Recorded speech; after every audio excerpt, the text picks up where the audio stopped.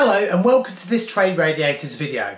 This is a really really quick video to have a look at how you can properly balance a long vertical radiator like the ones we've got here. The main reason we want to set up one of these radiators is, is because if they haven't been done properly they can have cold spots on some of the parts of the radiator and you might not think they're working properly. So I hope this video helps you to get your radiator working properly and if you've got any problems with it after you've installed it, how to quickly fix them. Number one, if you're just about to install the radiator, Make a note of the flow and return going into the radiator. It should be easy to know that if you're replacing an old one, just run the heating for a little while and you'll find out which pipe gets hottest first. That'll be your flow. Then on the bottom of your vertical radiator, very often there'll be a small sticker that will denote which way the flow should come in. If there isn't one there, have a look on the instructions and that should tell you there as well.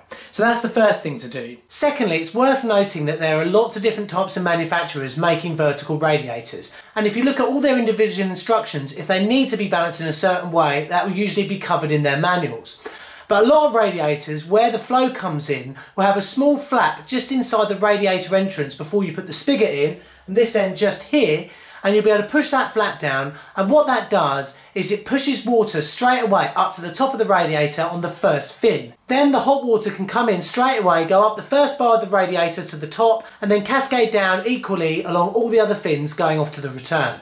So looking at this radiator here, we'll have the water that will come in at the bottom just here and then we've got our little flap that's just inside this bottom pipe right here that will force our hot water to go all the way up this first vein. Then all these other veins are connected at the top here. That means hot water can then cascade down nice and equally, heating up all these fins nice and easily as you go along. You'll know if you haven't done that properly or not because what will happen is often you'll just have this vein gets warm and then this vein gets warm. Alternatively, the water just shoots across the bottom and then back out the radiator and the hot takes absolutely ages to get hot. You also find that radiator manufacturers have different ways of diverting the water there. Sometimes it's already built in and you can't put a flap down. Sometimes you have to put a small rubber bung insert in as well. Again, I cannot stress how important it is to have a quick look at your instructions before you can continue putting in one of these radiators to make sure which way the flow should come in. Once your radiator is installed and you've got all the pipe work on, the next thing you need to do is actually nicely balance it out so it gets an adequate amount of flow from the system.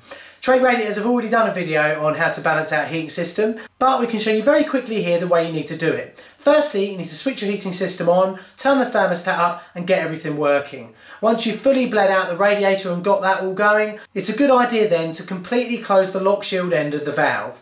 Then open up the TRV end fully and slowly then crack open the lock shield. Then leave it for about 15 minutes or 20 minutes to see how it heats up. If it doesn't heat up loads, then just give it another crack, but don't wind it fully open, okay? Once you've done that and you think you've got it up to a really good temperature, then really you should be finished balancing out the heating system. If you find out that putting a new vertical radiator made other radiators in the house get cool, then refer to our video on balancing out a heating system and that should see you right. Also, strangling down the lock shield on a vertical radiator can stop the often trickle noise that you get that sounds like water falling down a water waterfall because it reduces the flow whilst not actually affecting how hot the radiator gets. I hope you found today's video interesting and helpful and that it's helped you out when it comes to some of the problems associated with vertical radiators and I hope you'll come back and watch our next video. Thanks very much for watching, bye bye.